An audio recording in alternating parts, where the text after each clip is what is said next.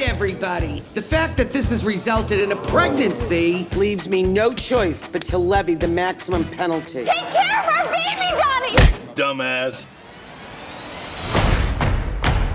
So what the IRS say? You haven't paid taxes since 94, Donny. I'm going to prison if I don't get 43 large. Holy cow, that's my boy. He moved out when he turned 18. I haven't seen him since. He's one of the youngest hedge fund managers in the financial industry. Maybe your son can help you.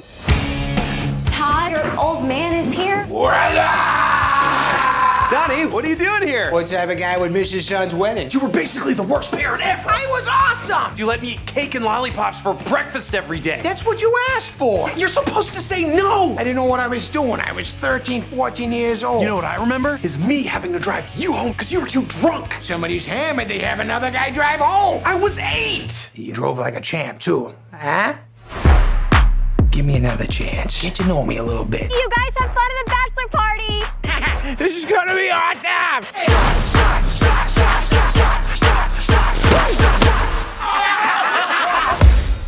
Don't forget, you're gonna go to prison on Tuesday. You have got to get that money. Actually, just trying to be a dad right now.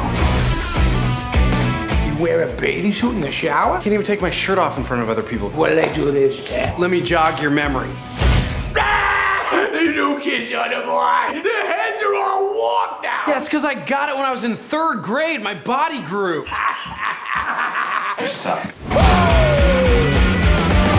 That's my boy! Ever since you showed up, Todd's been acting like a different person. John, you all set, buddy? Please don't hit us. Please don't hit us. Here you go, big man!